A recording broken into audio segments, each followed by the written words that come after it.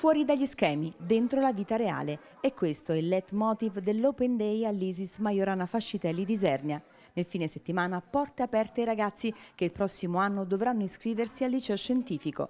Nella scuola della città Pentra, fiore all'occhiello dell'intera regione, viene esposta una proposta formativa che va dalle attività di laboratorio a una didattica innovativa e fuori dagli schemi. Uscire dallo schermo, un tema peraltro individuato, scelto dai nostri studenti a seguito di un percorso di educazione civica eh, che hanno affrontato con i propri docenti e, e l'idea è quella soprattutto di vivere la loro vita senza il filtro del, del, dell'iPad, del telefonino o meglio con l'ausilio ma soltanto in maniera consapevole. E, e per questo che noi per esempio promuoviamo sia nel percorso eh, di scienze applicate a curvatura digitale eh, sia nella classe 3.0 l'utilizzo consapevole proprio dell'iPad al fine di cogliere gli aspetti salienti che sono eh, diciamo formativi per la crescita del, dello studente. Beh, è un ambiente sicuramente fecondo eh, e ripeto non, non, eh, non lo diciamo mh, sulla base di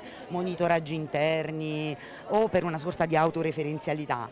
Eh, I dati sono oggettivi e sono provenienti dalla piattaforma RAV del Ministero, il rapporto di autovalutazione nella sezione esiti a distanza e soprattutto nella, per la Fondazione Agnelli. I dati del, di Eduscopio attestano come eh, il nostro istituto sia un punto di riferimento per il territorio molisano e non solo. Un percorso per insegnare i più giovani ad avere un maggiore spirito critico ed educarli ad una socialità reale al di fuori dei social network. Noi con questo Open Day infatti è proprio questo che vogliamo proporre, cioè i social possono essere usati, non è un divieto all'utilizzo dei social, però è importante che appunto siano usati con moderazione e con la giusta misura. Quello che facciamo a scuola varia, non è solo vera e propria didattica, la lezione classica, ma si spazia anche con molte attività che ogni anno vengono organizzate e, e proposte. Sì, eh, certo, perché questa scuola secondo me ehm, ha una formazione a 360 gradi, quindi per il futuro secondo me è molto indicata.